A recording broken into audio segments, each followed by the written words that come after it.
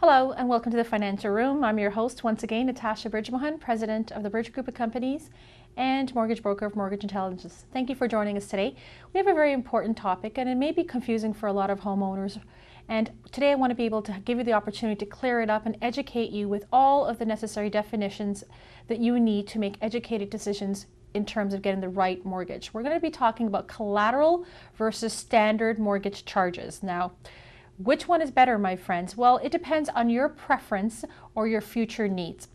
So I'm going to slowly educate you on the difference between collateral and a standard mortgage charge. And hopefully by the end of today's show, you'll be able to make that educated decision that you need. Well, a collateral mortgage is if you want to access your equity at any time.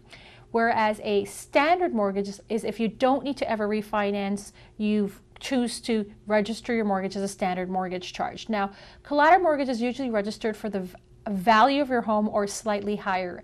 And it gives you the ability to avoid using a, any future lawyer or even an appraisal at a later date. It gives you easy access to take out money anytime once you're qualified for a certain amount. So again, collateral mortgage is registered for the face value of your home or even sometimes even higher.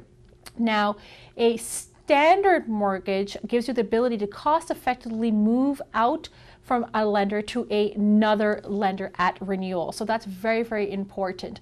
Collateral may affect your negotiation ability at renewal. So it's very, very important that a you understand, if I may say that a standard charge limits you to certain things, and so does a collateral. Now, standards offered by majority of lenders and it's sometimes, as I mentioned, very difficult to get a second mortgage if you have a collateral against your home because the original lender who's giving the collateral has chosen to up your protection of security against the value of your entire home, which leaves no security for a second mortgage lender. So again, a standard mortgage always allows you to have a option for a second mortgage. So be very, very careful between your purpose and your goal for collateral versus standard charge term.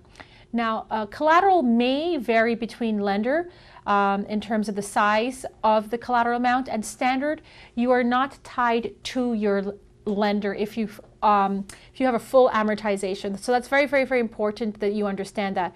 So again, let's talk about what we discussed. A collateral mortgage gives you a lot of flexibility if you ever want to advance more money from your home without having to use a lawyer and even maybe a new appraisal.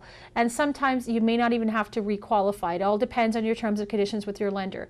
So it's very, very, very, very flexible.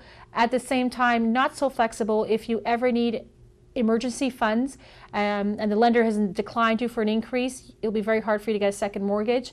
And at time at renewal to transfer your mortgage to another lender that's offering you a better mortgage, it's very, very difficult to transfer a collateral mortgage.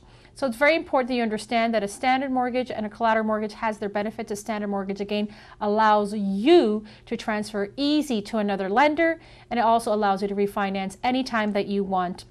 So Again, we're always here for you. You can always visit us at our new website, www.nbmortgageteam.com.